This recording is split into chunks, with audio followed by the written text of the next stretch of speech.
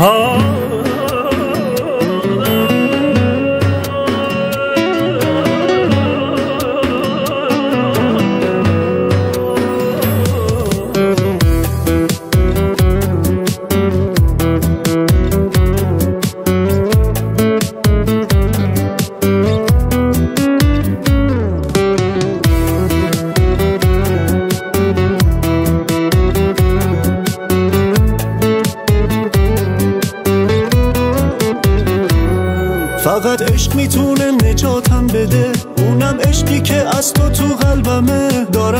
عاشقونه صدات می‌زنم؟ نجاتم بده از تو اینم همه. دعا می‌کنم با دو دست حقیر. دلم لک زده واسه آغوش تو. چه بارون تندی تو چشم منه. چه احساس خوبی دارم پیش تو. چه احساس خوبی دارم پیش تو. دلم دست به دعاته. چشم همش براته خدا به هم نگاه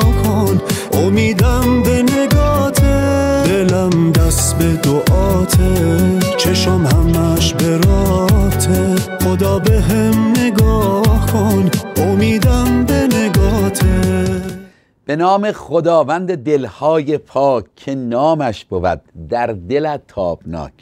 به نام کسی که تو را آفرید. سرآغاز عشق است و نور و امید. با درود خدمت هموطنان عزیزمون در سراسر جهان. عزیزانی که روی فیسبوک ما رو دارید.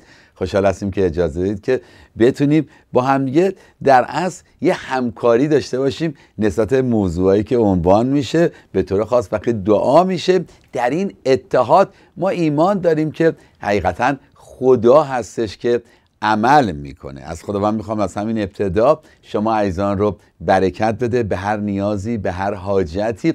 مشروط بر این که مایل هستید برای موضوعی که در دلتون هست دعا بشه می‌تونید روی فیسبوک بنویسید و ما برای شما دعا می‌کنیم. در طول یک هفته اسامی شما در لیست دعایی هستش که در کلیسا پخش میشه بین اعضا و برای شما دعا می‌کنیم و نتیجه اون بسیار عالیه.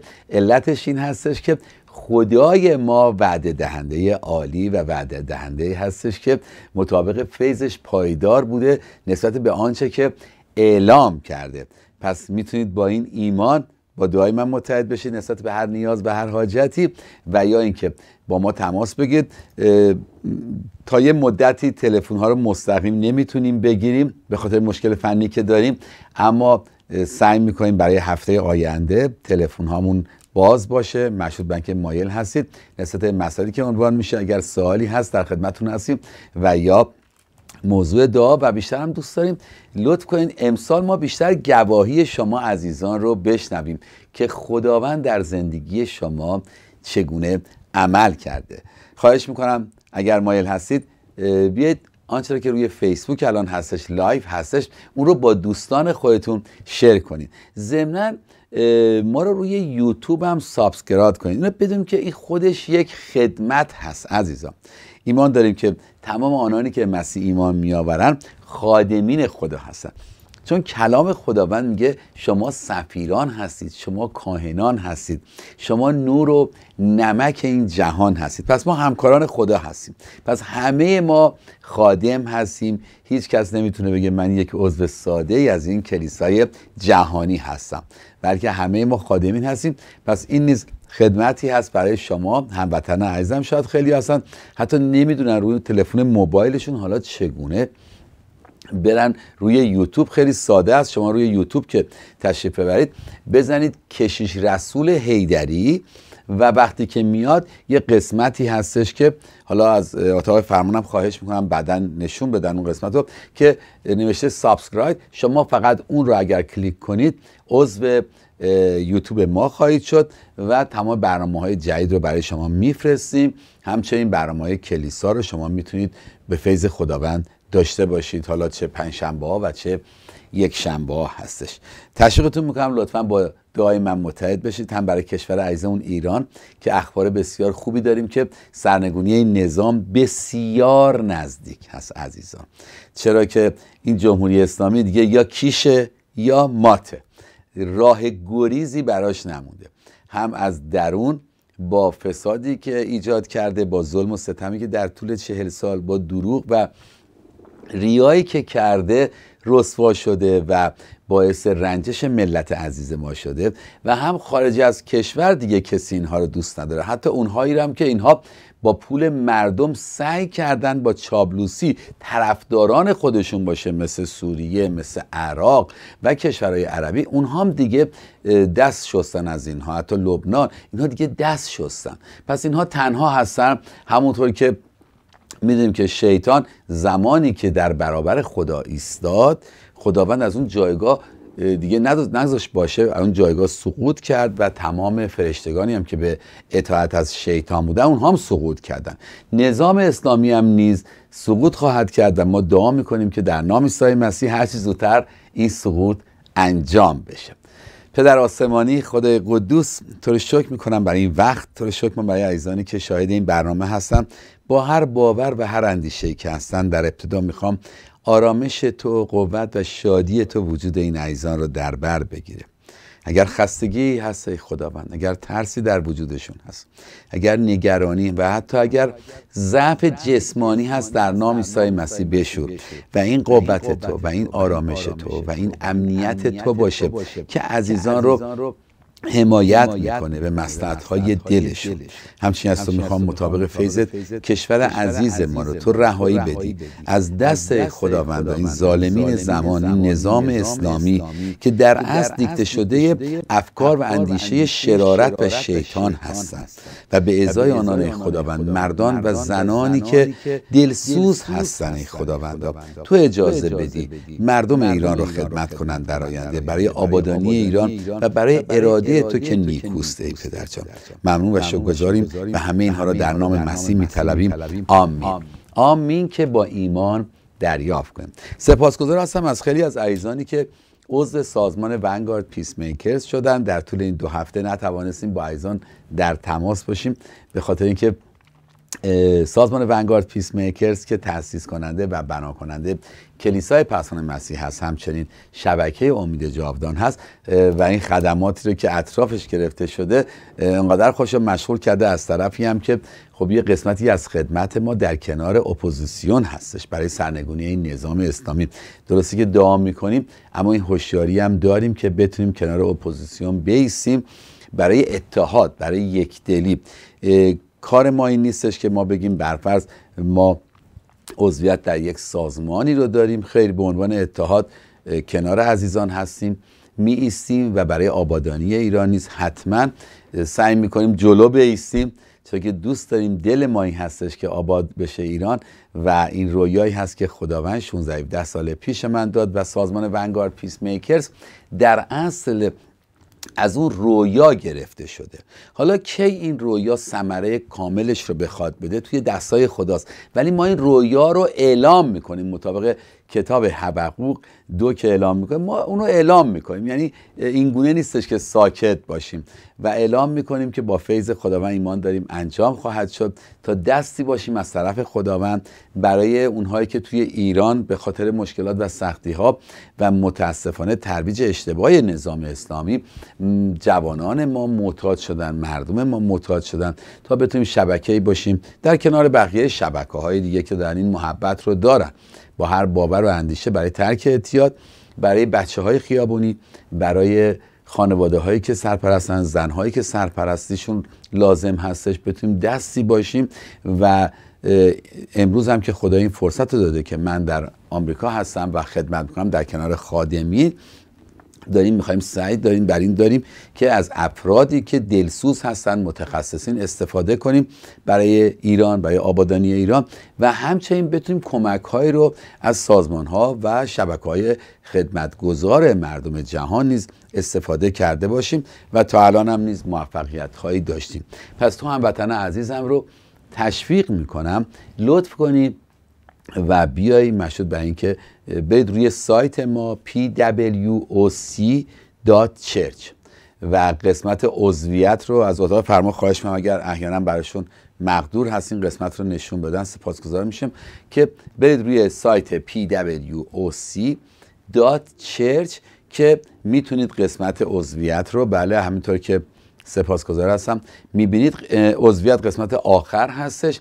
اونجا کلیک کنید بنویسید. مشروط برای که با مشکلی روبرو شدید می‌تونید با شماره تلفن 818 716 4 تا 0 تماس بگیرید.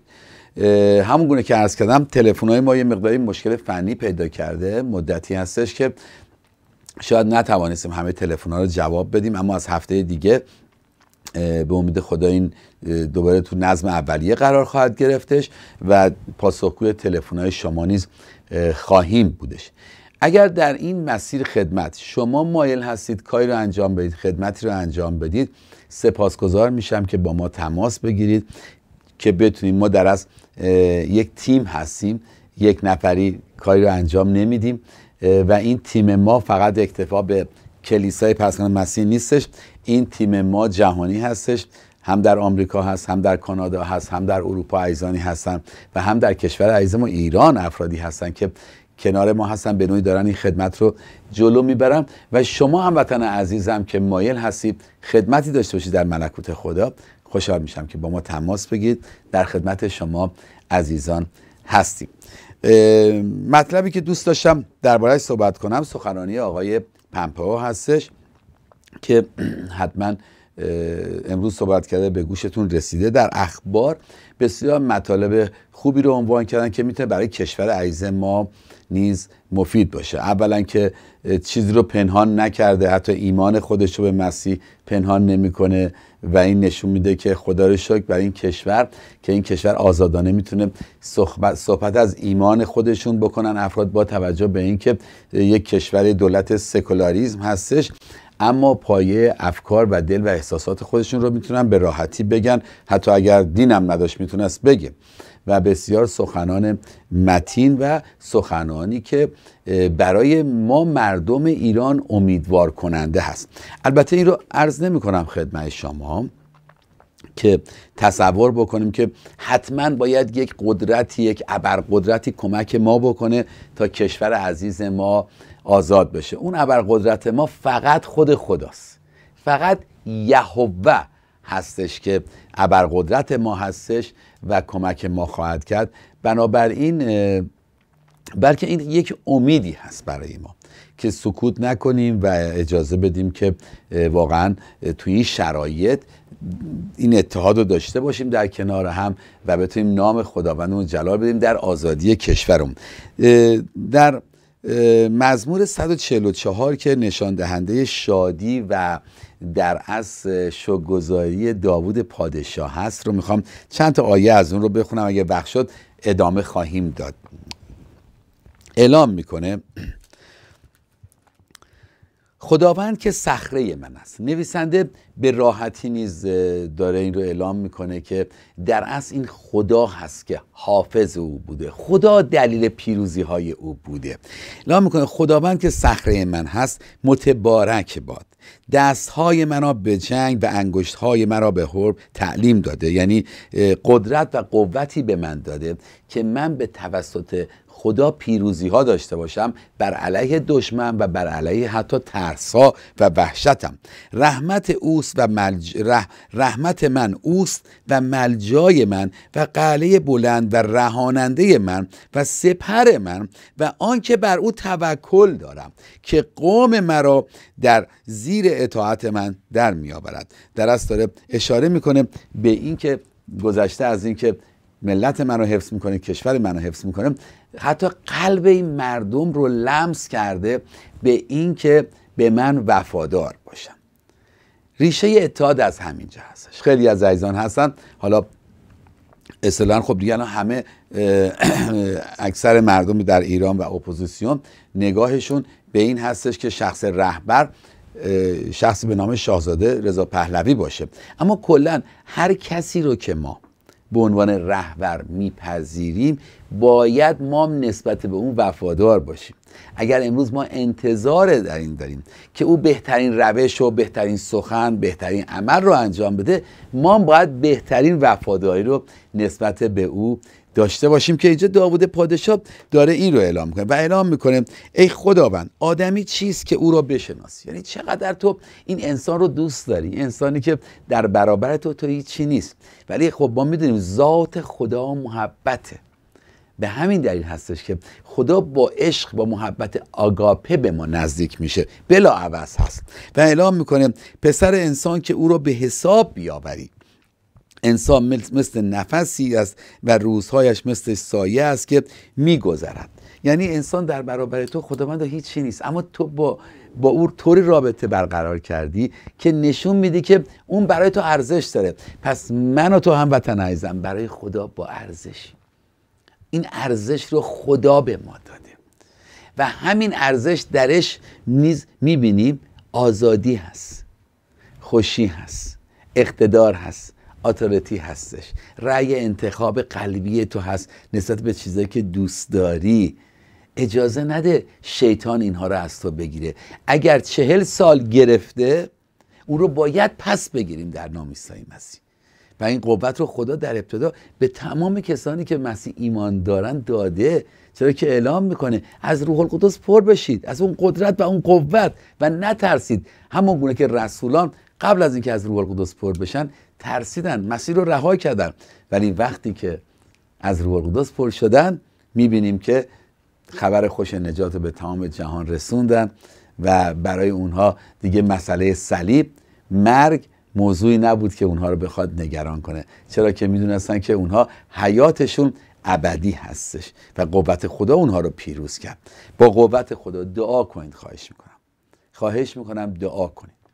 امیدوارم روزی بشه که همه کلیسا همه کشیش ها درک این موضوع رو پیدا کنن که اگر بگن سرنگون باد نظام اسلامی هرگز این گناه نیست این بد نیست عزیزان این لعنت نیستش بلکه این یک دعایی است مانند همین که شما شیطان رو نهیب می‌زنی عزیزان.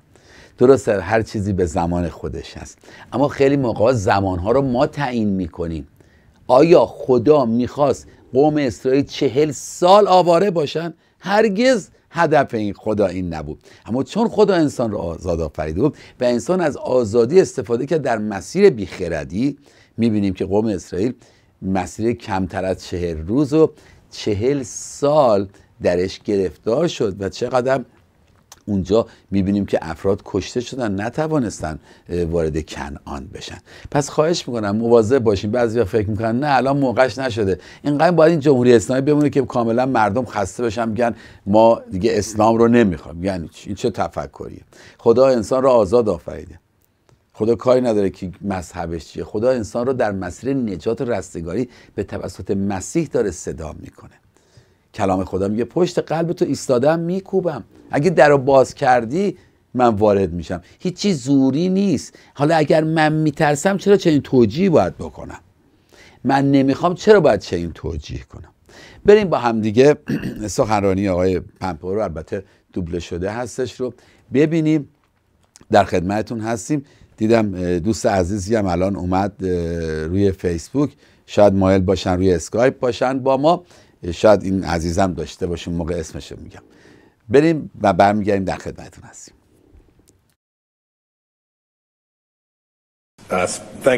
خیلی متشکرم فرانک به خاطر این صحبتی کردید و همینطور تشکر می‌کنم از خدمتی که به آمریکا کردید. علاوه بر وظایفی که اینجا انجام می‌دید خدمتی که به آمریکا کردید رو تشکر. من این افتخار رو داشتم که تونستم بارها اینجا و به مصر و کلا به عنوان خاورمیانه بیام به عنوان وزیر خارجه. من قبلا به عنوان رئیس سیایی اینجا می... من به عنوان رئیس سیایی و قبلا به عنوان یک نماینده مجلس به اینجا میدم. هر باری که میام اینجا یک چیز تازه ای می‌بینم یک چیز عالی می‌بینم. این سفر به ویژه برای من معنای خاصی داره. من به عنوان یک مسیحی انجیلی بعد از اینکه به اینجا اومدم در جشن بعد از جشن کریسمس. برای من زمان بسیار مهم. ما همه فرزندان ابراهیم هستیم. مسلمانان مسیحیان یهودیان. من در دفتر کارم همیشه یک کتاب مقدس رو باز گذاشتم. باز گذاشتم روی یک دفترم برای اینکه بدونم که این واقعیته. این یک و اینجا من جایی هستم که می‌خوام در مورد حقیقت صحبت کنم. حقیقت دیگه ای اون حقیقتی که معمولا در موردش صحبت نمیشه در این بخش. اما از اونجایی که من خودم یک مرد نظامی هستم آموزش نظامی دیدم بسیار سریح خواهم بود. آمریکا یک نیروی نیکی است در خاورمیانه. ما باید این حقیقت رو درک کنیم. چون اگر نکنیم انتخاب های بدی خواهیم داشت چه الان چه در آینده. و گزینه هایی که ما انتخاب می‌کنیم نتایج و پیامدهایی داره برای کشورها و میلیون ها نفر. برای امنیت و برای شکوفایی اقتصادی برای آزادی فردی و برای فرزندانمون. و هیچ جایی بهتر از اینجا نیست که الان وایسادم و تا این صحبت رو بخوام بکنم. در دانشگاه آمریکایی در این قاهره زیبا. همونطور گفتم امروز صدومین سالگرد تأسیس این نهاد هست این بنیاد هست. و این دانشگاه فقط یک دانشگاه نیست یک نماد مهم آمریکایی در مصر هست که مردم ما رو به همدیگه میپیونده. اینجا ما با همدیگه می‌تونیم گذشته گذشته غنی فرهنگ غنی گذشته اینجا رو با و هنر و اندیشمندان اینجا رو بپیوندیم به جهان امروز. مصر همیشه تلاش کرده اما در برخی موارد ما دیدیم چیزهایی هست که سخت دست دست بهش. برای اینکه ما شاهد بودیم که چگونه در تونس تا تهران سیستم های قدیم نظام های قدیم فرو پاشیدن و نظام های جدید به روی کار دارن میان یا اومدن. و در این لحظه حساس آمریکا دوست بلند مدت شما غایب بوده. خیلی غایب بوده. چرا؟ به خاطر اینکه رهبران ما منظور رهبران سابق ماست تاریخ ما و تاریخ شما رو اشتباه کردن یا لحظات تاریخی شما را این درک اشتباه بنیادین در سال 2009 در همین شهر اتفاق افتاد و تاثیر منفی داشت بر صدها هزار جان صدها هزار نفر در منطقه یا میلیون نفر در منطقه و در مصر. یادتون باشه همینجا بود که یک امریکایی دیگه در همین شب در برای شما ایستاد. ایشون به شما گفت که اسلام رادیکال اسلامگرا اسلامی افراطی رادیکال مخالف نیست. مخالف ایدئولوژی ما نیست. ایشون گفتش که 9/11 یا سپتامبر 11 سپتامبر. باعث ایشون گفت که جهان اسلام و امریکا نیازمند آغازی نوین هستند. نتایج این برداشت اشتباه قضاوت اشتباه وحشتناک بودند. ما در تصریح موزه خودمون زمانی که مشارک های ما نیاز داشتن بسیار ضعیف عمل کردیم. ما بسیار دست کم گرفتیم قدرت اسلام, اسلام افرادگرا رو. داعش به حومه بغداد رانده شد چرا که آمریکا تردید به دل راه داد. اونها حمله کردند و غارت کردند و صدها ده ها هزار یا صدها هزار نفر رو کشتند و خلافتشون رو به سوریه بردن و در سراسر این قاره قتل و غارت کردند. تردید ما به تردید آمریکا و سکوتی که ما کردیم در زمانی که مردم ایران در بر علیه ملاها در تهران در انقلاب سبز به پا خواستن آسیب رسون آیت الله آیت الله ها در ایران آزادی ایرانی ها رو به, به بند کشیدن. رژیم ها در, در این رژیم نفوذ مخربش رو در یمن سوریه عراق و, و لبنان گسترش داده. و در حالی که حزب الله یک زیر مجموعه کامل و جز به جز ایران 130 هزار موشک رو تونسته تهیه بکنه انبار کرده و این جنگ افزارها رو در شهرها و روستاهای لبنان انبار کردن. درست برخلاف قوانین مقررات بین در کنار در همسایگی شریک ما همپیمان ما اسرائیل. بشار اسد وقتی که به مردم عادی خودش حمله کرد و با گاز سارین به مردمش حمله کرد دقیقا همون انکاس پژواک حمله صدام حسین بود به مردم کرد. اما تردیدی که ما نشون دادیم در اراده در ابراز ارادمون هیچ فایده ای نشون نداد هیچ نتیجه نداد. مردم بله ما این این باعث شدش که مفهوم کشورها که در واقع بنیاد ثبات جهان رو تشکیل میدن بین المللی تشکیل میدن رو نادیده گرفت. و این باعث شدش که ما با دشمن مشترکمون دشمن عادیمون یعنی ایران توافق کنیم به توافق دست بکنیم. حالا امروز ما چی یاد گرفتیم از این همه چیز؟ ما اینو یاد گرفتیم که وقتی آمریکا وقتی آمریکا عقب نشینی می‌کنه هرج و مرج به وجود میاد وقتی ما کوتاه میایم شلوغی ایجاد میشه و شرکایمون ناکام میمونن. اما خبر خوب اینه. زمان زمانی که آمریکا به خودش باعث شرم خودش میشه تموم شده و دیگه نیازی است اون رنج بیهوده وارد بشه. الان آغاز راستین شروع میشه. در واقع در کمتر از دو سال ایالات متحده تحت رهبری پرزیدنت ترامپ نقش سنتی خودش به عنوان نیروی نیکی در این منطقه رو بار دیگه تجدید کرده. ما از اشتباهاتمون درس گرفته ایم. ما صدایمون رو دوباره پیدا کردیم. ما روابطمون رو دوباره بازسازی کردیم و ما ادعاهای دروغین دشمنانمون رو رد کردیم. و ببینید که به چه دستاوردهایی رسیدیم. ببینید با هم چه دستاوردهایی داشتیم تحت این رهبری جدید. ما با حقیقت زشت اسلامگرا اسلام افراطی رو تونستیم رد کنیم. ایشون خواست با با بزرگترین آزمون تاریخ برای مقابله با افراد افرادگرایی اسلامی مقابله کنیم. آقای السیسی هم با ما ملحق شد و از ما خواست که با رنج و درد بسیار افراد بسیار زیاد مقابله کنیم. من از آقای رئیس جمهور السیسی به خاطر رئیس جمهوری السیسی به خاطر دلاوریش تشکر می‌کنم. من در یکی از سخنرانی اخیری که در بروکسل ایراد کردم گفتم که سخنان ما با الان دیگه دوباره معنا پیدا کرده و باید هم اینطور باشه. این اصل اساسی است. اگر ما تعهد بکنیم به این معناست که اگه ما تعهد بکنیم به این معناست که همپیمانان ما ما رو دنبال می‌کنن.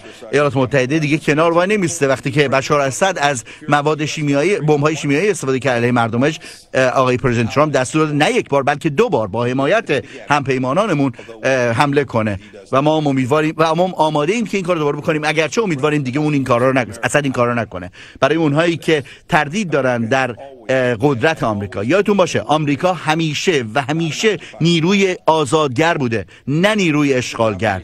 ما هرگز رویای تسلط بر خاورمیانه رو در سر نپروروندیم آیا می‌تونین همین رو در مورد ایران هم بگین؟ ما در جنگ جهانی دوم آمریکایی ها جنگ جهان جهان رو از اشغال نازی ها آزاد کردن. ما 50 سال بعد یک اعتراف تشکیل دادیم تا کویت رو از دست صدام حسین نجات بدیم.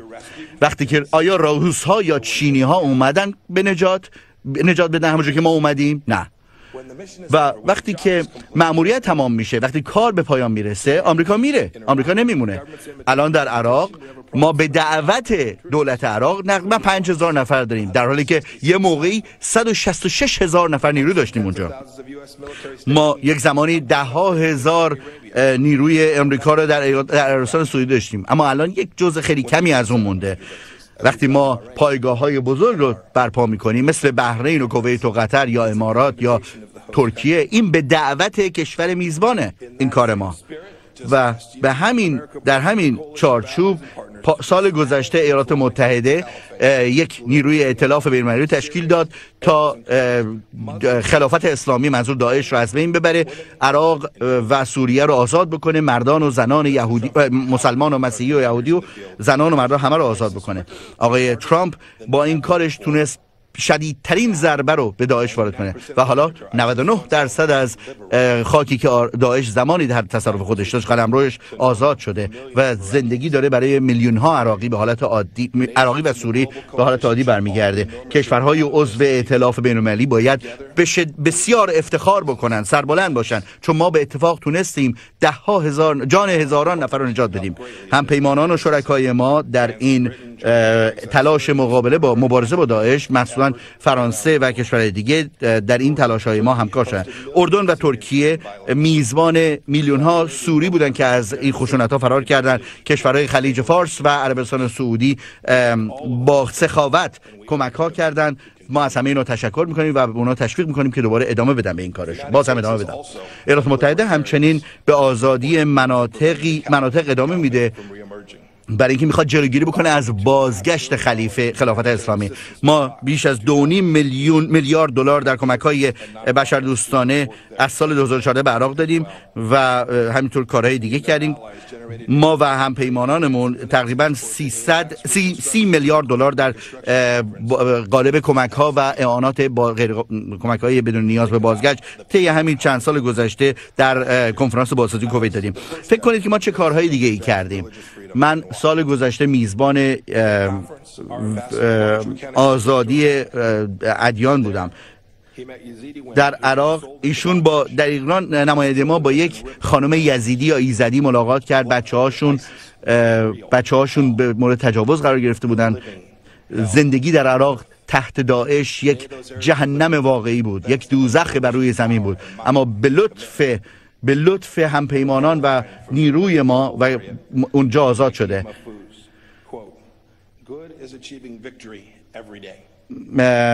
میگه خوبی دستیابی به پیروزی در هر روزه اما ممکنه اهریمن از اون چیزی که ما می‌خوایم یا شر از اون که ما می‌خوایم ضعیفتر باشه. حالا در مورد ایران. پرزیدنت ترامپ این نابینایی آمدانه ما در برابر اقدامات ایران و اون توافق هسته بعد با اون وعده های دروغینش رو از بین برد. تحریم هایی رو برقرار کرد که هرگز نباید از بین می‌رفتن لغو می شدن ما کارزار فشاری شروع کردیم که با عملیات های مخرب ایران در سراسر سر جهان مقابله کرده. ما در کنار مردم ایران فراخان فراخان آزادی مردم ایران و خواستار پاسخگویی شدن اونها در کنار اونها ایستاده ایم. ما با ما با همپیمانانمون داریم اقدام می‌کنیم که اقدامات انقلابی رژیم ایران رو مقابله کنیم. ما باید بگیم نباید دیگه از آیت الله ها نگهداری کنیم و مواظبشون باشیم بلکه باید بهشون باشون مقابله کنیم. در اردن مصر عمان و و و کشورهای دیگه تمامشون مؤثر بودن. مؤثر بودن در مقابل با ایران. مثلا امارات متحده چیزهایی که کاندنس کاندنست هایی که بعد از ایران مایاتی که بعد میاناتی که بعد وارد می‌کرد رو مقابله کرده. کویت هم همینطور. خیلی از فعالیت های بدخواهانه شریرانه ایران رو در منطقه آبی جلوگیری کرده. عربستان سعودی هم همینطور داره مقابله می‌کنه در مقابل نفوذ محلی ایران منطقه ایران. آمریکا هم در تمام این بر تمام این کارها مشارکت داره و ما از همه دعوت می‌کنیم که بیاد با فعالیت های پلید ایران مقابله کنه. البته کارهای مقابله با کارهای بد ایران فقط در خاورمیانه نمیشه. مثلا همپیمانان ما در جهان مثلا در کره جنوبی هم همپیمان شدن با ما کمک کردن که جلوش بگیرن. مثلا خیلی کشورهای جهان واردات نفتشون از ایران رو کم کردن. مثلا در آلمان فرانسه و جاهای دیگه همشون محاسبه کردن و فهمیدن که کار کردن اونها با این رژیم ایران برای خودشون برای کسب کاراشون برای مردمشون بده. ما در یمن به همپیمانان ائتلافیمون کمک کردیم که اونها دارن تلاش می‌کنن که جلوی نفوذ و گسترش ایران رو بگ... گسترش نفوذ ایران رو بگیرن که برای ثبات منطقه بده امنیت منطقه بده. ما با اونها همکاری کردیم. آمریکا همیشه کار ما همراهی کرده با با کمک های بشر دوستانه ما در یمن در مسیر صلح کمک کردیم. در لبنان حزب الله همچنان یک حضور عمده داره و اما ما این وضعیت رو دیگه بر نمیتابیم. ما از جمله تحریم های ما علیه ایران افراد بسیار زیاد در خود حزب الله هم شامل شده از جمله پسر حسن نصرالله رهبر یا دبیر کل حزب الله رو. حالا بذارین در مورد تلاش آمریکا برای ایجاد ائتلاف صحبت کنیم.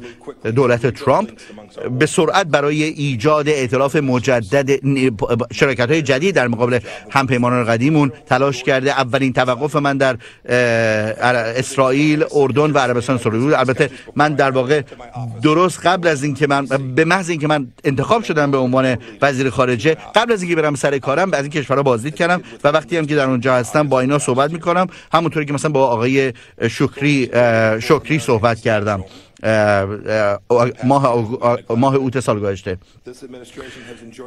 این ایالات متحده روابط بسیار خوبی داشته. این کشور در خاورمیانه با خاورمیانه صدها سال روابط خوبی داشته. ما باید این رو نگه داریم این روابط رو. روابط ما خیلی قدیمیه. مثلا روابط ما با مراکش و عمان به 1780 و با عمان مثلا به 1800 خورده ای برمیگرده.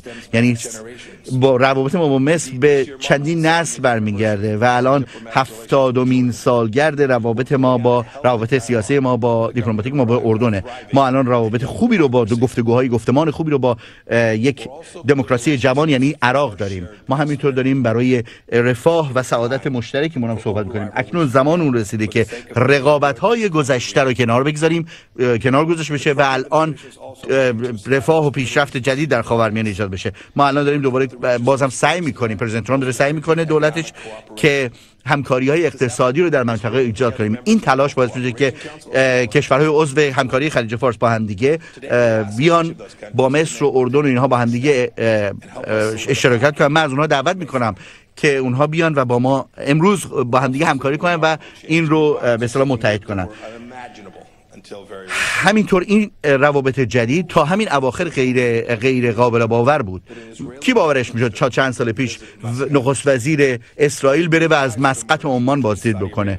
یا رو مثلا تعهدهای جدید روابط جدیدی بین بین عربستان و عراق ایجاد بشه؟ یا مثلا پاپ کاتولیک در روم بیاد با رئیس مثلا یکی از سران اسلامی بازدید کنه. سال گذشته وقتی که قهرمانی مسابقه قهرمانی جودو در امارات متحده بود یک سرود ملی اسرائیل نواخته شد. این اولین بار بود که هیئت اسرائیل یا تیم اسرائیل حق داشت حق پیدا کرده بود که بتونه زیر پرچم خودش شرکت بکنه. و این اولین بار بود که وزیر فرهنگ و ورزش بتونه بره و در منطقه خلیج فارس با اینا صحبت بکنه. و گفته بود که این یک یک رویاست که به تحقق پیوسته. و ایشون گری... نمی‌تونه چرا اشکاشو بگیره. من می‌خوام از مقامات مسئول در ابوظبی سپاسگزاری کنم و همینطور میزبانان ما که اینجا. که در اونجا که اینقدر ازش خوب پذیرایی کردن و اون بسیار خوشحال بود این گام های برداشته شده برای امنیت ما در برابر تهدیدات مشترکمون بسیار مهمه و همینطور اشاره می‌کنه به یک آینده گسترده تر برای خاورمیانه برای منطقه البته کار ما به اتفاق همدیگه هنوز تمام نشده تقریبا کار آمریکا هیچ وقت منحصر به خودش نبود. آمریکا می‌دونه که ما نباید و نمی‌تونیم همه جنگ ها رو خودمون به تنهایی بجنگیم. هیچ کشوری نمی‌خواد متکی به کشور دیگری باشه. هدف ما اینه که با شریک و دوستامون شریک بشیم و با دشمنانمون به شدت مقابله کنیم. زیرا داشتن یک خاورمیانه قوی محکم و از نظر اقتصادی مرفع به نفع منافع ملی ما و شماست. بذارید من روشن بهتون بگم. آمریکا تا زمانی که جنگ با تروریست پایان نیابه خارج عقب نشینی نخواهیم کرد عقب نخواهیم رفت و تمام تلاش ما مبارزه با داعش القاعده و دیگر گروه های جهادی است که امنیت ملی ما رو تهدید کنه. آقای پرزیدنت ترامپ تصمیم گرفته که نیروهای ما رو از سوریه خارج کنه و به خانه بیاره. ما همواره این کار می‌کنیم و الان زمانشه که این کار رو بکنیم. اما این مأموریت رو تغییر نمیده. ما همینطور متحد میمونیم به از بین بردن کامل داعش و تهدید داعش و جنگ جاری با اسلامگرایی اسلامگرایی رادیکال ادامه خواهد کرد در همه گونه هاش پرزیدنت ترامپ گفته ما دنبال این هستیم که ببینیم شرکای ما بیشتر کار انجام میدن تلاش بیشتری می‌کنن و ما هم چشم هستیم با هم دیگه این کار بکنیم.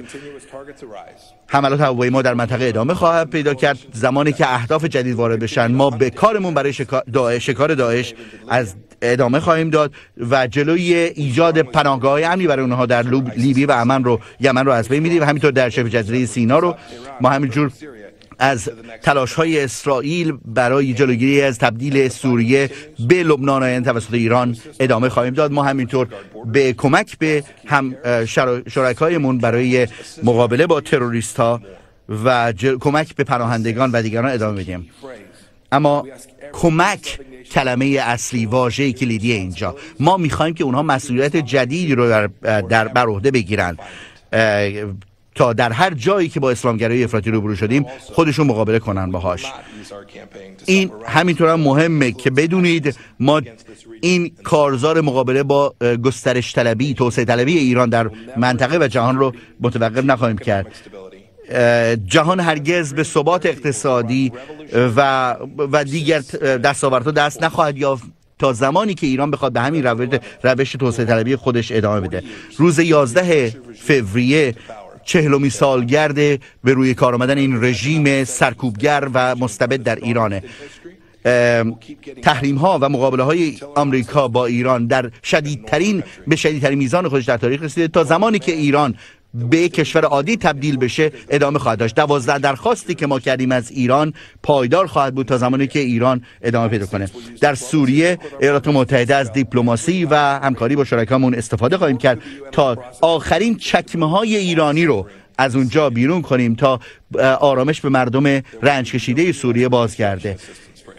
هیچ گونه کمکی به کمک بازسازی به مناطق سوریه که تحت کنترل اسد هست از طرف امریکا ارائه نخواهد شد تا زمانی که ایران اونجا باشه و اونجا خارج بشه مطابق با قطنامه های تایید شده.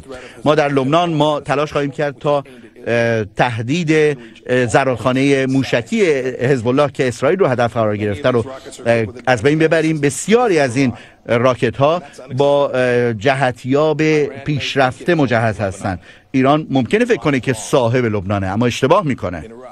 در عراق ایالات متحده به شرکای ما کمک می‌کنه تا بتونه یک کشوری آزاد از نفوذ ایران رو تشکیل بده و بتونه و ما از و ما از انتخابات اون کشور کاملا اماده بدیم و این کشور عراق با با کشور با همسایگان عراقیشون روابطشون تقویت کردن و با همینطور با کردها و دارن تمرکزشون رو بر مقابله با فساد قرار میدن. ما در یمن به کار مون برای دستیابی به صلح پایدار ادامه میدیم. و من فکر می‌کنم خیلی روشنه ولی باید یه بار دیگه هم تاکید بکنم شاید ایالات متحده کاملا از حق دفاع از خود اسرائیل در برابر ماجراجویی های ایران دفاع می‌کنه و ما ادامه خواهیم داد به تقویت این کشور از لحاظ زمین تا بتونه این کار رو قاطعانه انجام بده. منظور اسرائیل ما خواهان برقرار یک صلح واقعی و پایدار بین اسرائیل و فلسطینی ها هستیم و ما به سخنانمون متحدیم کارزار انتخاباتی پرزیدنت ترامپ این بودش که اورشلیم رو به عنوان پایتخت اسرائیل به رسمیت بشناسه و سفارتمون رو به اونجا منتقل کنه. این تصمیم ها توسط قطنامه های یا لایه های دو حزبی در کنگره بیش از دو دهه بود که حمایت می‌شد و آقای پرزیدنت ترامپ عمل کرد به این. ایالات متحده همچنین بر روابط دو, دو جانبه ما برای تقویت اونها ادامه میده. طی چند روز آینده من با رهبران بحرین امارات قطر عربستان سعودی عمان و کویت ادامه خواهیم داد. ما در مورد اهداف مشترکمون صحبت می‌کنیم. همونطور که در اردن و عراق این هفته این کاری کردم و همین امروز با آقای رئیس جمهوری السیسی و آقای وزیر خارجه شکری انجام دادم.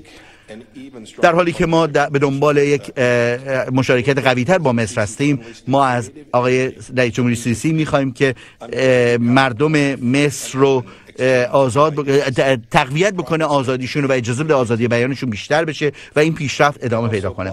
من همینطور از آقای تلاش آقای ارسیسی به خاطر آزادی های دینی و مذهبی ستایش می‌کنم که این بسیار مهمه برای همه مردم و رهبران خاورمیانه. من خیلی خوشحال بودم که دیدم شهروندان ما که به دروغ به اشتباه متهم شده بودن به عمل کردن کارهای خلاف اینجا آزاد در, نهایت تبرئه شدن. و خیلی خوشحال میشم که این اتفاقات دیگه نیفته و ما همکاری می‌کنیم. اما کارهای بیشتری باید انجام بشه برای به اوج رسوندن مصر و ملتش. و من خوشحالم که آمریکا هم در این بخشی داره. بذارید در پایان من یک چند تا سخن رو بگم. اول اینکه هیچ وقت آسان نیست تشخیص حقیقت یا تایید حقیقت. ولی ما باید هر وقت می‌بینیم بگیم. ایالات متحده به خاطر اینکه زیاد کار کرده در خاورمیانه یا کم دست داشته در خاورمیانه در هر دو صورت ازش انتقاد شده. ولی ما نمیشینیم. نگاه کنید به تاریخمون و ببینید تاریخ مشترکمون چیه. همون تاریخی که امروز بهتون گفتم. ببینید نبردهایی که با هم کردیم بر علیه دشمنان مشترکمون. ببینید ائتلاف سازیمون رو. و همینجا به دوروبر خودتون نگاه کنید. در همین دانشگاه که الان اینجاست. که قرنها اینجا وجود برای یه قرن اینجا وجود داره. این اتفاقی نیست که بسیاری از دانشگاه های آمریکایی در سراسر خاورمیانه از بیروت بگیر تا سلیمانیه برپا شده. اینها نمادهای خوبی و نیکی آمریکا و خوبی ما برای شما آرزوهای خوب ما برای شما و همه کشورهای خاورمیانه است. من می‌خوام از همه شما سپاسگزاری کنم که امروز اینجا هست با درود مجدد خدمت هموطنان عزیزمون که لطفی تا الان با ما بودید. بله سخنرانی مایک پمپو رو شنیدیم که در رابطه با ایران صحبت کرد البته در تو مصر و در تو جهان صحبت کردش. اما دلیل اینکه خواستم این فکر کنم 20 دقیقه بود صحبت های ایشون ما بشنویم. این امیدی است که در دل ما بمونه عزیزان.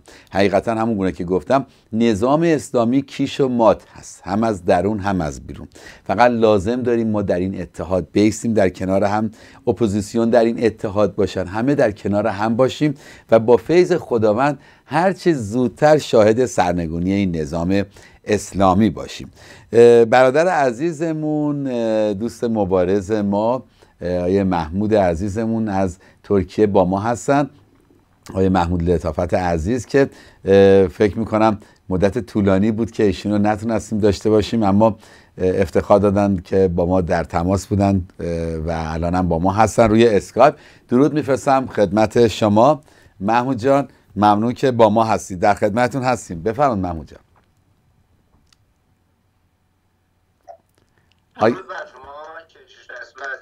همچنین درود میفرستم به بینندگان تلویزیون در اقصانقات کشور در خدمت ما هستم.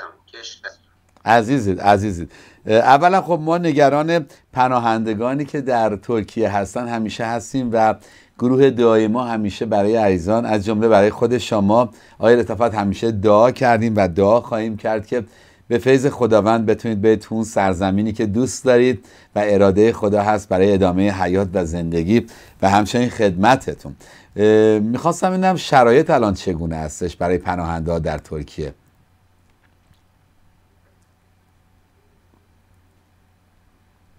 آیا صدای ما رو دارید شما؟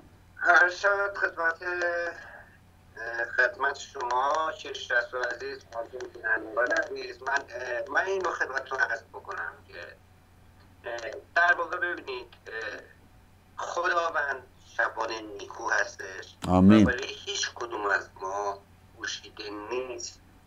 این نیکو بودن شبانی خداوند. آمین آمین. هیچ کدوم از ما گوشیده نیست و ما به واسطه نیکویی شبانی خداوند به این راه اومدیم. خب طبیعتا من روزی که از ایران اومدم بیرون خاک پاهای خودم رو در ایران کوبیدم برای اینکه اونجا من رو نخواستن. جان. و طبق کلام براشون دعا کردم و از اون سرزمین اومدم بیرون. بله. اما امروز روز در ترکیه من می‌خوام این رو خدمتتون عرض بکنم. ترکیه از نظر اوگل جیشی برای خداوند خیلی اهمیت دارد. بله و ما باید در این اهمیت همکار و همیار خداوند آمین. ببخشید. محمود جان صدای شما یه مقداری مشکل داره. اگر میشه بلندتر صحبت کنید. نه ما با صداتون الان مشکل داریم میشه بلندتر صحبت کنید ممنون میشه. صدای من رو داریم. صدای شما رو داریم ولی ضعیفه. بله؟ بله بله ولی خیلی ضعیفه. بفرم همونطور عرض می‌کردم خدمتتون که همونطور که از نظر سوگل جیشی موقعیت و مکان یعنی در واقع ترکیه برای خداوند بسیار حائز اهمیت هست و بسیار مهم هست. بله. و ما توی این مکان و توی این موقعیت قرار گرفتیم. و امروز روز وظیفه ما ایمانداران برادران و خواهران هستش که دست در دست هم باز کنیم قفس تنهاییمون رو و پرواز این آزادی که در کلام خداوند هست. آمین. این وظیفه ماست و این رو خداوند از ما می‌خواد. بله هر کجا که باشه. درست.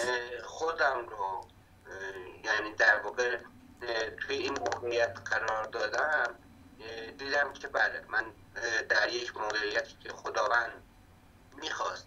من قرار گرفتم و باید و باید خودم رو آماده بکنم و حرکت بدم خودم رو در مسیر خاص کلام آمین در مسیر خواست اون چیزی که خداوند از من می‌خواهد. خداوند چه چیزی رو از من می‌خواهد؟ بله. شرایط ترکیه امروز امروز روز بسیار دشوار هستش. و اینجا اه، پناهجویان عزیزی رو ما داریم که در خداوند هستند یا در خداوند هستند یا نیستند و یا چیزهای مختلفی دارن. اما من این رو خدمت دوستان می‌خوام بگم. خداوند می‌خواد که ایران تغییر پیدا بکنه. آمین. می‌خواد که ما به سرزمین خودمون بازگردیم. با خداوند فیضش. اینها رو این نقشه رو و این ویژن رو در ذهنیت ما داره و ما هر روزه داریم برای این موضوع دعا می‌کنیم که خداوند زندگی ما رو متبارک بکنه و آمین. خداوند زندگی ما رو درست بکنه تا اینکه این وضعیتی که الان پیش اومده خب اینها گذرا هستن که از از بله. خودتون می‌دونید خودتون در جریان هستید اینها گذرا هستن و شرایط زندگی در ترکیه بله. بسیار سخته. متاسف بسیار بسیار بسیار سخت هستش. اما کسانی که واقعا فرزندان راستین خداوند هستند این شرایط رو تحمل می‌کنن و من درود میفرستم به شرف اینها.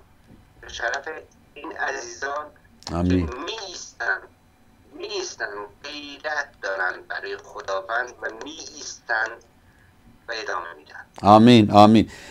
مرسی محمود عزیزم. محمود جان ما راستیتش دو سه روز هست مطالبم در رابطه با محور اتحاد صحبت میشه و علتش این هستش که می‌دونیم که همیشه در این اتحاد هست که پیروزی میاد به طور خاص وقتی هدف مشخص باشه.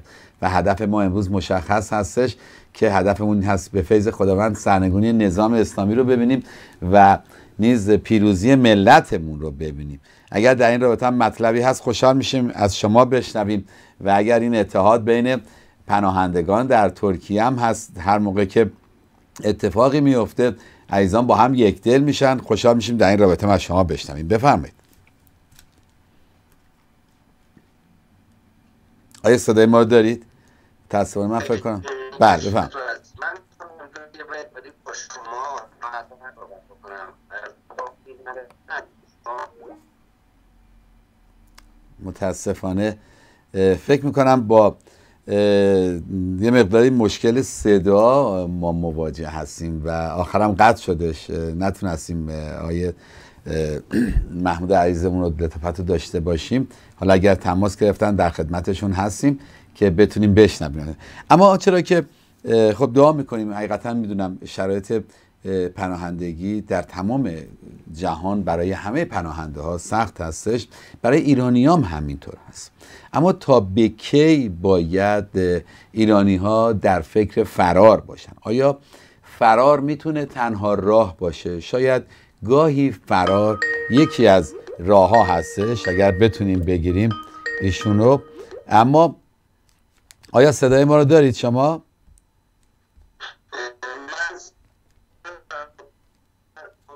مت- متاسفانه بازم صدای شما نمی‌دونم چرا.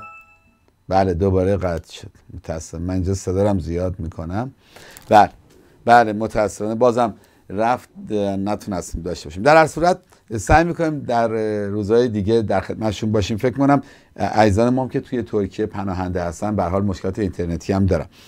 م، به حال ممنون که آقای لطفت لطف کردید. اومدید روی خط که با هم باشیم متاسفانه مقدور نشد. اما اینو عرض می‌کردم. آیا تصور بر این می‌کنیم که ما می توانیم با فرار کردن از مشکلات رفع مشکلات کنیم و برسیم به هدف و موفقیت ها گاهی این گونه هست اما همیشه این گونه نیست. یعنی همیشه فرار تنها راه نیست. در طول چهل سال آنانی که توانستن از روشنفکران ما از سیاسی های ما از هنرمندان ما از مردم عامی که به دنبال امنیت و آرامش بودن توانستن فرار کنن و به یک کشوری رفتن و پناهنده شدن. وقتی هم که پناهنده شدن اکثرا دلشون برای ایران بوده طوری که دوباره برگشتن حتی بعد از پناهندگیشون هم برگشتن به ایران. و که اینم دولت ها فهمیدن متاسفانه به طور خاص دولت آمریکا متوجه این موضوع شده که اگر سوگند خوردید شما توی دادگاه و گفتی من برگردم ایران جونم در خطر هست اما انقدر عاشق ایران بوده حالا ریسک کرده هر بر علتی برگشته ایران و مثل مسافرت رفته و اومده. و این موضوعات هم داشتیم یعنی ما خارج از کشورم آرامش نخواهیم داشت تا زمانی که وطن ما آزاد نیستش. پس باید یک کار یه فکر اساسی کرد. فکر اساسی این هستش. ما که خارج از کشور هستیم میباید با حکمت با یک مسیر درست در کنار اپوزیسیونی که مخالف هستن بیستیم در این اتحاد و این امید و این تشویق رو حتی به دیگران بدیم تا حتی به هموطنان ما که توی ایران هستن بدیم که این امید داشته باشن و حرکتی بشه برای سرنگونی. مسلما شاید ما نمی‌تونیم از این بر برفرض به اونها حکم کنیم که توی خیابون بریزید توی این خیابون بریزید فلان. لذا می‌تونیم به اونها امید بدیم. می‌تونیم به اونها بگیم ما با شما هستیم و مانع شایعات بشیم. ارتش سایبری نظام اسلامی در طول به طور خاص این 7 ده سال اخیر بسیار آسیب زده به اپوزیسیون. آسیبش رو زده.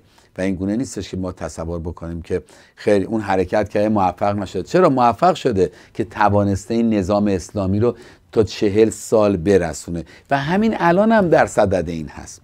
همین الان هم. حتی می‌خوام بگم خود به خود کلیسا هم آسیب زده. گذشته از یک کلیساهای فارسی زبان چون کلیساهای فارسی زبان جز کلیساهای زنده و بیدار ایران هستن. یه سری کلیساهای سنتی هستن که اونام کلیساهای خداوند هستن اما کلیساهای بشارتی نیستن. یعنی مطابق آنچه که در انجیل متا 28 19 اعلام می‌کنه برید خبر خوش نجات رو بدید اونها این کارو نکردن. اگه این کار انجام می‌دادن که باید نیمی بیشتر از مردم ایران حداقل زمان پادشاهی محمد رضا شاه باید به مسیح ایمان می آوردن چون وقتی که انجیل رو میخوندن که کسی هست که انجیل مسیح رو بخونه و قرآن هم بدونه؟ بعد باز مسلمون باشه. چنین چیز اصلا غیر ممکن هستش. درسته که شاید بعضی از تعصبات ما اجازه نده ما وارد دریچه حقیقت طلبی و حق جویانه بشیم. اما اگر کلیساهای سنتی در گذشته بشارت می‌دادن. چه بسا شاید انگوش شماری هم این کاری کردن البته. اما کلا این حرکت انجام نشده. اگر انجام می‌دادن مسلم بدونیم که بیشتر ایرانی های مسیح ایمان می آوردن اما کلیساهایی بودن کلیساهای پروتستان بودن کلیسای جماعت ربانی کلیساهای انجیلی بودن اسقفی بودن که این کلیساها مطابق انجیل متا 28 خبر خوش نجات رو به گوش ایرانی ها رسوندن. از این رو هستش که من به مسیح ایمان آوردم. از این رو هستش که ما می‌بینیم هزاران ایرانی حتی در گذشته به مسیح ایمان آوردن به توسط کلیساهای بیدار در گذشته عرض می‌کنم. برمیگردیم به 5 سال قبل که بقیهش هم خب شبکه های مسیحی بسیار موثر بودن وقتی شنیدن. شما اگر توجه کنید خب معمولا ما اینجا از ایران تلفنی به اون صورت نداریم ولی در شبکه محبت و خیش تماس می‌گیریم. شما ببین اکثر اینا از شهرستان ها هستن از روستاها هستن که ماهواره دارن دارن می‌گیرن. چرا؟ چون که باز میل به این دارن از خدا بشنون. ولی انقدر توی شهرهای بزرگ ماهواره های تلویزیون های مختلف هستش که مشغول دیدن سریال های ترکیه هستن که متاسفانه یک روال زشت ارتباط و relationship رو دارن تعلیم میدن تو این سریال هاشون و فیلم ها و شوها و برنامه ها حالا نه که مختص ترکیه باشه کلا در دنیا هست به ندرت افراد میشینن. ولی ما داریم می‌بینیم کسی که خبر خوش نجات رو میشنوه کسی که به دنبال حقیقت هست به مسیح ایمان میآورد. و این اتفاق زیبا هنوز داره پیش میاد به توسط شبکه ها و مردم دارن به مسیح ایمان میآورن. اما اونایی هم که مسیح ایمان آوردن بعد از اینکه می‌بینن توی ایران براشون امکان این نیست که ادامه زندگی بدن اونها هم در اندیشه این هستن که از ایران فرار کنن. ولی چقدر بهایه می‌خواد فرار کنه مسیحه می‌خواد فرار کنه روشنفکره می‌خواد فرار کنه هنرمند می‌خواد فرار کنه استاد دانشگاه می‌خواد فرار کنه جوانان می‌خوان فرار کنن پیران به خاطر مریضی که دارن به امکانات توی ایران نیست می‌خوان فرار. همه می‌خوان این مادر این وطن رو رها کن همه به فکر فرار هستن. و همه به خاطر اینکه توی ایران شرایط خوبی برای زندگی نیست. اما تا کی؟ آیا همه هم موفق میشن؟ من ماهی دو تا تلفن دارم کسایی که در این فرار هستن. حتی باورشون هم مسیحی نیستش. با من تماس می‌گیرن. میگن شنیدیم شما دعا می‌کنید ما الان تو شرایط خیلی بدی هستیم. برامون دعا کنید ما رو دیپورت نکنن. برامون دعا کنید به اون کشور مقصد برسیم. ولی تا کی باید این گونه باشه؟ آیا نباید زمانش الان ببینیم؟ الان اون زمانی هستش که باید توی ایران همه دست به دست هم بدیم و تحولاتی رو انجام هر کسی تو کار خودش هر قشری در اندیشه باشه معلمین به فکر اعتصاب باشن کارمندان به فکر اعتصاب باشن دانشجویان به فکر اعتصاب و تدارکات راهپیمایی و تظاهرات باشن. دیگه الان شرایط یه طوری شده که خود دولتمندان نظام اسلامی هم صداشون در اومده چون میترسن. می‌خوام بگن مردم ما از شما هستیم. همشون از اینکه مبادا تحولی و اتفاقی پیش بیاد توی نظام اسلامی که پیش خواهد آمد و اینها قربانی ندونم کاری های سران خودشون باشن. اونها الان این روزا دارن حتی از توی خود مجلس گرفته شده تا مراکزی که سخنرانی میشه. خود اینها هم دارن اعتراض می‌کنن. و داریم ما می‌بینیم. حتی خیلی از برنامه گذاره شبکه جمهوری اسلامی گاهی شروع می‌کنن خورده می‌گیرن از خود دولت. چیزی که قبلا دیده نمی‌شد. پس برای شرایط شرایطی هستش که میباید این حرکت انجام بشه. حالا اگر دولت آمریکا به حمایت مردم میاد صحبت می‌کنه. ما فقط میگیم صحبت. این باید یک امید خوبی باشه. اگر صحبت نمی‌کرد اگر مثل زمان آقای اوباما بیتوجهی می‌کردن به خواست مردم و حتی حمایت می‌کردن چی؟ پس امروز این شرایط هست هم وطن عزیزم.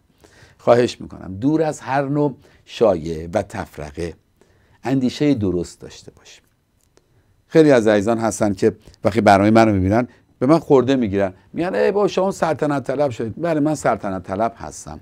ایماندارا سلطنت طلب هستن. پادشاه ما خداوندمون عیسی مسیح هستش. اون پادشاه قلب ما هستش. اما بر روی زمینم نیز من این اجازه رو دارم این آزادی رو دارم اندیشه کنم که چگونه می‌تونم زندگی بکنم. فکر و اندیشه من این هستش که مثل خیلی از ایرانی ها امروز امروز رو دارم میگم. شخصی به نام شاهزاده رضا پهلوی می‌تواند بهترین آنترناتیوی باشه بهترین شخصی باشه موقعیتی باشه که بتونه پرچمدار آزادی ایران باشه. پس میباید دست به دست به هم بدیم و پیش بریم تا این نظام سرنگون بشه. از الان اندیشه اینو نکنیم. آ این حزب برنده میشه فلانی برنده میشه. من پادشاهی می‌خوام. اینو باید بزنیم اگر همه ما که هر کدوم یه نفر بیشتر نیستیم اندیشمون دیگران باشن این رو می‌تونیم بذاریم برای روزی که به فیض خدا نظام اسلامی سرنگون شده اون موقع رای ریزی بکنیم. اون موقع هستش که باید اندیشه برای دولت آینده کردش. و خواهشم از همه شما عزیزان اگرم عزیزانی هستن که در اپوزیسیون active هستن. خواهشم این هستش که روال حرکت رو امروز فقط اتحاد قرار بدید. اتحاد و یکدلی برای فقط سرنگونی فقط سرنگونی نظام اسلامی. و بعد از اون هستش که مسلم می‌دونیم که من ایمان دارم خردمندانی هستن اندیشمندانی هستن دلسوزانی هستن که می‌تونن دست یاری به ملت ما بدن. که بعد از اون چه موقعیتی رو اون دولت آینده داشته باشه که اندیشه باشه که همه دوست باشه. همه رو در نظر بگیرم ملت افکار متفاوت رو باورهای مذهبی متفاوت رو. و این آزادی باشه تحت پوشش یک نظام سکولاریزم داشتم براتون از مزمور 144 میخوندم اون ابتداش که داوود پادشاه به ذوق اومده و دارش یک به نوعی شگذاری می‌کنه. اما این مزمور ادامه داره که البته من تا چهار خوندم دوباره می‌خوام از یازده بخونم که بازگوی آن اندیشه و افکار داوود پادشاه هست چرا که تجربه کرده. کلام خدا میگه بیایید ببینید و بچشید. ولی قبل از اون میگه بیایید. حرکت کنید همت کنید. نمی‌تونیم فقط بگیم که ما حتی فقط دعا می‌کنیم. خیر. حالا متاسفم که خیلی ها میترسن حتی دعا کنن. سرنگون باید نظام اسلامی چه دیگر دیگران براشون دیکته کردن. این رو نگید گناه داره. بس یعنی اصلا اصلا نمیان. ولی میگه کلام خدا میگه بیایید حرکت کن. جد اون حرکت کن. داوود پادشاه حرکت کن. ابراهیم حرکت کن. موسا حرکت کن. قوم اسرائیل حرکت کن. کوروش حرکت کن. یک حرکتی باید باشه تا بعدش برکت آزادی و امنیت ایجاد بشه. در مزمور 144 آیه 11 اعلام می‌کنه مرا از دست اجنبیان برهان. دعای ما باید باشه که خدایا ما را از دست این نظام اجنبی برهان که با افکار اجنبی. حتی اینها زبان آخرین اوج هدفمندیشون که بهشت می‌دونن عربی می‌دونن. خب اینا اجنبی هن دیگه. تازه اون دنیا اجنبی هستن. چرا که فقط زبان عربی رو اینا زبان بهشت می‌دونن. میگه مرا از دست اجنبیان برهان و خلاصیده که دهان ایشان به باطل سخن می‌گوین چهل سال اینها باطل سخن گفتن و امیدوارم که هموطنان مسلمان ما ناراحت نشید. تحقیق کنید. 1400 سال به باطل سخن گفتن و ما رو فریب دادن و اجداد ما رو فریب دادن و اعلام می‌کنه دست راست ایشان دروغ هست. حقیقتا دروغه. دست راستشون خمینیشون بوده. خامنه ای هستش. رهبرانشون هستن. نمایندگان مجلس هستن. اینها دروغ میگن. چقدر دروغ گفتن؟ و همینطور ادامه میدن. تا پسران ما در جوان و میگه دست راست ایشان دروغ است. بعد داره خواهش می‌کنه که ما رو رهایی بده تا بتونیم تا پسران ما در جوانی خود نمو کرده مثل نهال ها باشن. یعنی سرزنده باشن پر از امید باشن پر از شادی باشن. نه از ناامیدی نه از ترس و نگرانی. به مواد مخدر رجوع کنن. نه از ناامیدی و نگرانی. به فکر این باشن بگن آقا ما بریم بدترین جای دنیا توی آفریقا. تو آدمخورها بریم ولی اینجا تو نظام اسلامی نباشیم. حتی متاسفانه این نظام اسلامی احساس کشور دوستی وطن دوستی رو از مردم ما گرفته. به طور خاص از جوانان ما گرفته. درست قشری هستن دارن مبارزه می‌کنن. پیام اسلام اصلا همینه. چون اسلام میگه من می‌خوام جهان رو بگیرم. بس ایران چیه؟ چرا به فکر وطنت هستی؟ وطن تو تمام دنیا باید بشه. اصلا نباید به فکر وطن به فکر ایران باش برای همین هستش که ما در سخنان اینها در اعمال اینها در اندیشه های اینها در اهداف ایران ایران دوستی نمی بینیم چرا؟ چون آخوند از همون ابتدا عربی صحبت می‌کنه توی مسجد از شخصیت هایی که به ایرانی ها ظلم کردن ستم کردن. همچون معصومین نام می‌بره. امام میگه امام حسن امام حسین امام علی و اونها رو برای ما نمونه ای کرده بودن. مردمانی که افرادی که تماما فکر و ذهنشون این بود که ایران رو بهش تجاوز بکنن به ایران ایران رو قارت کنن. ایرانی ها رو به عنوان انسان های خوب نمی‌دونستن. و اینا مغزاشون شستشو شده. و از نظر ما اینه که روحای بد هست. برای همین میگیم نظام اسلامی پشت نظام اسلامی شیطان در اصل قرار داره. و اعلام می‌کنه که تا پسران ما در جوانی خود نمو کرده مثل نهال ها باشند و دختران ما مثل سنگ های زاویه تراشیده شده و مثل قصر یعنی هم زیبا در چهره هم زیبا در فکر. نه اینکه یک دختر ایرانی در اندیشه این باشه که روسری رو سرش نباشه اونا بگن نه تو باید روسری سرت کنی. یه زمانی شعارشون این بود که عضو می‌خوام اینو میگم یا روسری یا تو سری جایگاهی نداره زن توی اسلام و یا توی نظام های اسلامی.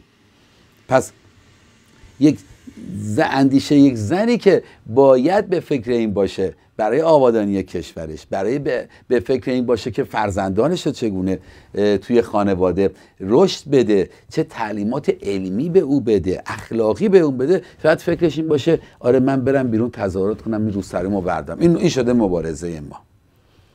نه آنچه را که خدا در نظر داشت که در کتاب پیدایش می‌بینیم کلام خدا تو باب دو میگه زن معاون مرده. معاون پایین نیست عزیزان. معاون یعنی کسی که مشورت میده. مشورت دهنده است. و ما به خوبی می‌دونیم که زنان تمرکزشون بیشتر از مردها هست توی جای مختلف. مردها یک تمرکز یا نفتن دو تا موضوع می‌تونن تمرکز کنن. ولی زنها بیشتر مشروط برای اینکه اطلاعات داشته باشن. در طول تاریخ به طور خاص مذاهب دروغین سعی کرده که زن رو در جایگاهی قرار بده که اطلاعات و آگاهی بهش نرسه و خودش رو حقیر و ضعیف ببینه. و این نقشه شیطان بود. چرا؟ چون در کتاب پیدایش سه پونزه اعلام می‌کنه که نسل زن سر تو رو خواهد زد شیطان. و نسل زن همون عیسی مسیح بود که سر شیطان رو زد روی صلیب. سر شیطان رو زد زمانی که قیام کرد از مردگان. و شیطان داره می‌خواد انتقام بگیره. یکی از دستهای انتقام شیطان اسلامه. ابزاری که تو دستش یکیش اسلامه. طوری که در سوره نسای 38 اگر اشتباه نکنم از 34 تا 38 هستش که در با زن میگه و زن رو عضو می‌خوام ذلیل و حقیر داره نشون میده. میگه همسر یک زن مسلمان زمانی که اون حرف اونو گوش نکرد اطاعت نکرد اونو می‌تونه کتک بزنه. اونو می‌تونه راحت کتکش بزنه. خب برای چی؟ ما الان داریم می‌بینیم در کشورهای پیشرفته کشورهایی که تمدن عالیه دارن در کشورهای مسیحی اجازه نداره حتی یک انسان حیوان رو کتک بزنه. برای چگونه تو قرآن چه چیزی قید شده؟ حالا اونهایی که اهل مکاب هستن اهل این هستن که میان آرایش می‌کنن و می‌خوان شکل این حیولای زشت رو زیبا کنن عمل پلاستیک انجام میدن همه آیات هم یه جور دیگه جایدن تفسیر می‌کنن. اما همین آدم جدش پدرش پدر بزرگش مطابق این قرآن مادر بزرگش رو می‌زده مادرش رو می‌زده. چون قرآن گفته بوده دیگه. و ما باید رها بشیم. اگر ایرانی ها آزاد نشن فرار از چی فرار می‌کنیم؟ از آنچه که باید اندیش... فرار کنیم از اندیشه عضو می‌خوام. پوسیدمون باید فرار کنیم. نه از کشور عزیزمون ایران. درسته که خود منم مجبور شدم روزگاری 16 17 سال پیش به خاطر اینکه شرایط ناامنی داشتم توی ایران فرار کنم. ولی فرار نکردم امروز اینجا سکوت کنم. در طول این 15 16 سال در کنار خانوادم در کنار خادمینی که در راستی ایستادن غیور هستن دلیرانه ایستادن ایستادیم بر علیه این نظام اسلامی. ایستادیم بر علیه شیطان و برای نجات مردم. اما ایستادیم برای نظام اسلامی سرنگون بشه. چون خوب می‌دونیم. کلمون نکیم زیر پتو بگیم نه ما کاری به چیزی نداریم. من و چند تا اعضای کلیسان بستم هست. غیر. ایستادیم. نمی‌خوام خورده بگیرم البته به عزیزان. اما ایستادیم عزیزان. باید بیستیم تا کی سکوت کنیم؟ تا کی به فکر این باشیم که هموطنانمون که توی ایران هستن خاله و دایی یا عمه رو یه کار کنیم بیان پیش ما. تازه وقتی هم میان اینجا که میشنویم دیگه. اینجا از هم جدا میشن اینجا قهر می‌کنن اینجا با هم اتحاد ندارن. و علتش این هستش که آزاد نشدیم از اون اندیشه بده. اون اندیشه تا زمانی که با ما هستش متاسفانه ما در امنیت نخواهیم بود.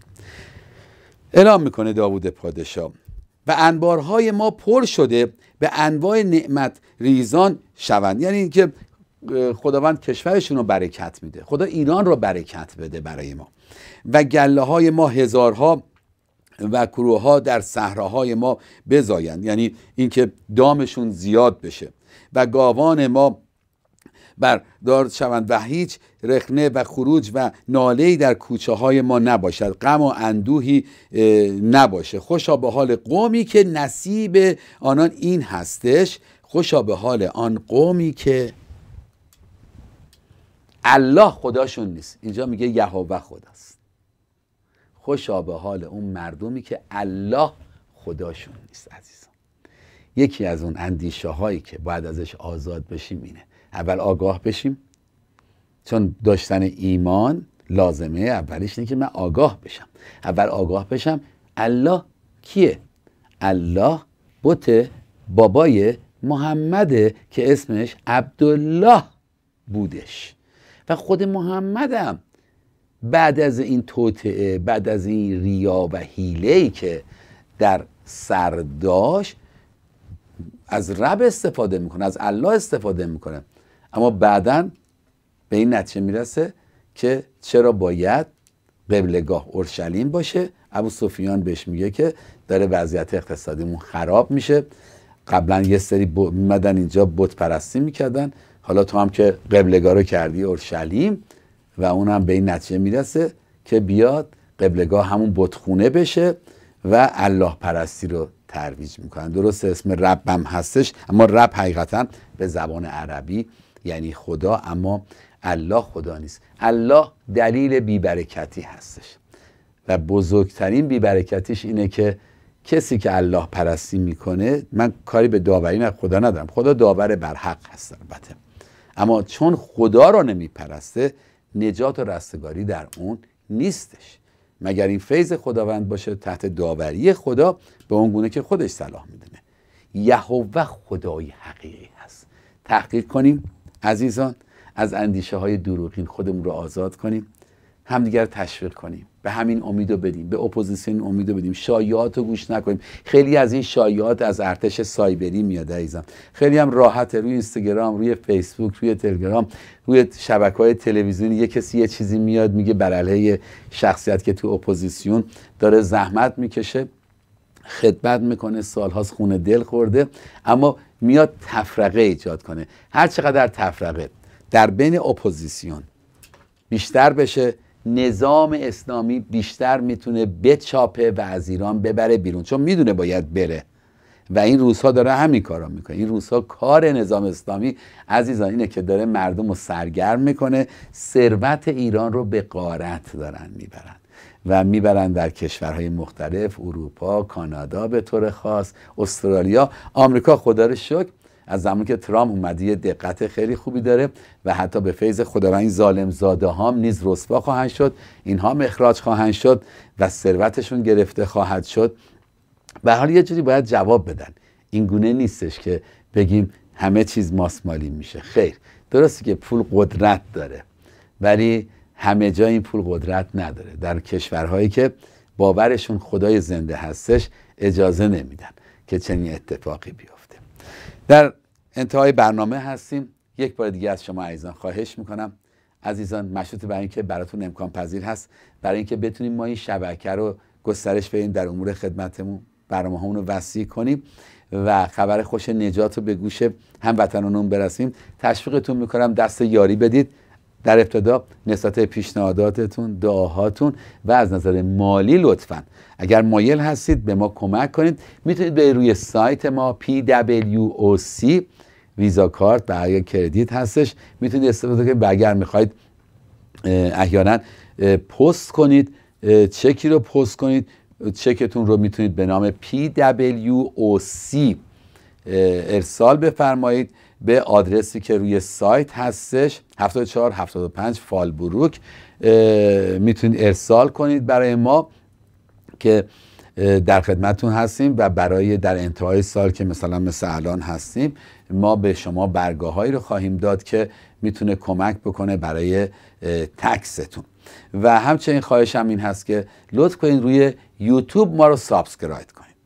روی یوتیوب تشریف ببرید ما رو subscribe کنید و اگر مایل هستید برای بعد از سرنگونی نظام اسلامی مایل به خدمت هستید. در کشور عزیزمون ایران برای آبادانی می‌تونید عضو سازمان پیشتازان صلح که به انگلیسیش ونگارد پیس میکرز میشه بشید و با ما تماس بگیرید. ما خودمونم با شما تماس خواهیم گرفت. هم که هم تو این دو هفته مقدار شلوغ بودم. نتوانستم جوابگوی تلفن های شما باشم. اما عزیزان از این هفته که میاد پیگیر شما عزیزان خواهم بود. برای اینکه بتونیم از شما بشنویم تا این خدمتمون رو گسترده کنیم. با فیض خدا در کنار هم در کشور عزیزمون بتونیم نام خداوندمون رو جلال بدیم. با سپاس از اتاق فرمان از خدا می‌خوام که خداوند مطابق فیضش شما عزیزان رو برکت بده. ما فردا در شبکه محبت هستیم. به وقت ایران ساعت نه شب در ایران هستیم و به وقت لس آنجلس ساعت نه نیم صبح میشه. ضمن سه شنبه هم عزیزانی که در لس آنجلس هستن ساعت دو بعد از ظهر می‌تونن شاهد برنامه امید جاودان باشن از شبکه یک که به مدیریت آقای شرم همایون هستش و به وقت ایران هم میشه ساعت دو نصف شب. برکت خداوند عیسی مسیح پیوسته با شما عزیزان باشد و بماند تا ابدالآباد آمین.